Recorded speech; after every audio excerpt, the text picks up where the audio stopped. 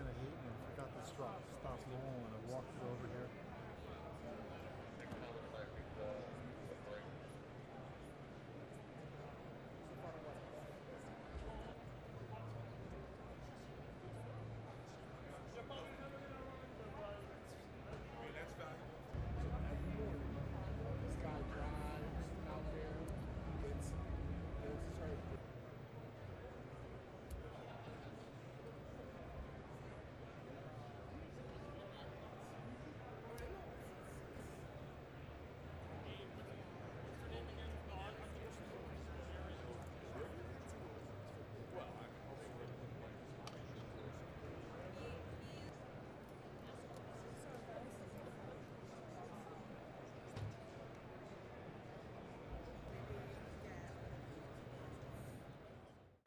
Well, the Velar SVAD um, is one of the latest introduction to our uh, Range Rover family.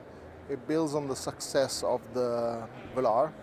Uh, Velar is um, it was a new white space car for us, so it really slotted in between Evoque and Range Rover Sport. Um, stunning proportion, just a beautiful car. We wanted to retain the same design integrity of the core car with this version, but clearly signify the different powertrain and, uh, and uh, the, the perfor performance of the new vehicle. So if you see there's a lot of changes in the lower bumpers on the front, on the rear, and uh, even on the side on the molding. So when you look at the front, bigger openings to feed the um, supercharged V8. Uh, the outside opening on the front bumper is to cool the braking system. Uh, on the side, the body color extends all the way down to the sill to ground the car and give it even more road uh, emphasis. And on the back, um, we got integrated um, quad exhaust finishers in the bumper. The Velar SVAD uh, really continues that design philosophy that uh, um, we, we've had all along with Velar um, it was the next step in our uh, uh, minimalist approach, less is more, uh, very reductive and modernist approach. Uh, so for us the challenge was to retain that sort of uh, design language, but at the same time uh, convey more of a performance mm, character to the vehicle.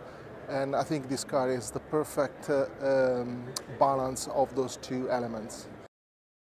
This vehicle is, is just the perfect car. It's, uh, it's a killer combination of uh, uh, aesthetic, performance, uh, distinctiveness.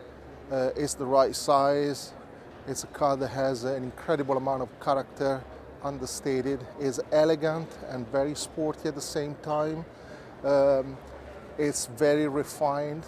Uh, you can feel the quality in every single aspect of this car from, uh, from the execution of the exterior design to all the materials used on the, on the inside, uh, the way the car performs and uh, the way it drives, it handles.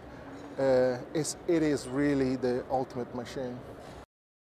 I expect the customer to really fall in love with this car and uh, I think what is also very interesting is that this car will be available uh, to purchase just for one year and it's actually a very uh, uh, it's a very particular uh, case where this car stands really uh, every chance to become a, a very collectible car.